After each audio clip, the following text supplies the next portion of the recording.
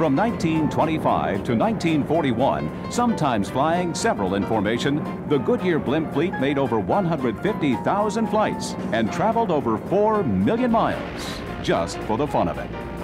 In the meantime, Goodyear, the name emblazoned on the monumental air dock, was building two of the world's largest airships, aimed for war instead of wonder. Thousands watched as Goodyear put together the pieces and the power of a flying giant, watching as the skeleton began to take form from the main frame of this rigid airship through the intricate lattice work of the duralumin girders, giving the lady her not so dainty shape. Hundreds of men coming from surrounding states were needed in the air dock, working above, below, and inside the structure.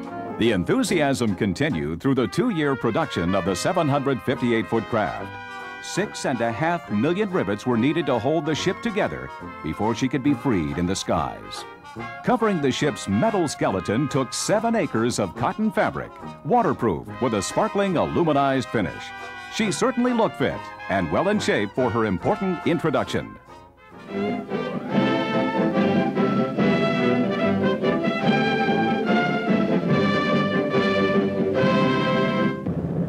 They do things in a big way out here.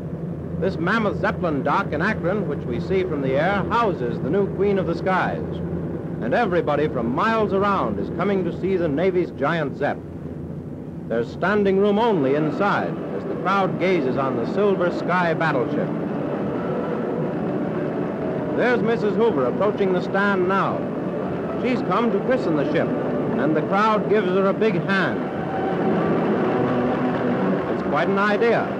The First Lady of the Land, naming the First Lady of the Skies. I name thee Akron.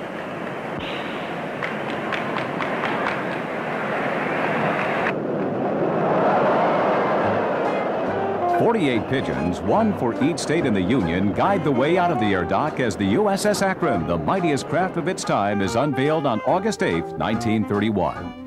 Designed to hold over six and a half million cubic feet of helium, 30 times greater than that of today's blimps, the Akron was able to carry up to 91 passengers and crew members and contain sleeping quarters, a mess hall, galley, and restrooms. There she goes, clear of the mooring mast on her first venture into cloudland. The motors are merely idling now because her actual top speed is more than 80 miles an hour. The cruising radius of this aerial giant is 11,500 miles, a distance equal to halfway around the world. What a thrilling picture the great ship makes as she floats majestically through space. It's a sight no one will ever forget. Long may she cruise as a symbol of America's air power.